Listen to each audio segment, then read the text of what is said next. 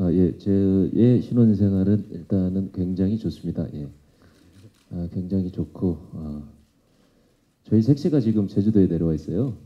예, 제가 이제 그 감독님한테도 말씀드렸는데 저희는 이 드라마를 하면서 어, 저희는 그냥 신혼생활을 제주도에서 하겠다. 아, 신혼여행 같이 예, 드라마에 사실 이러면 안 되는데 굉장히 열심히 하고 노력해야 되는데 사실은 좀 역설적으로 얘기하면 그냥 놀겠다 우리는 뭐 이제 이런 식으로 해서 지금 색시가 같이 있어요.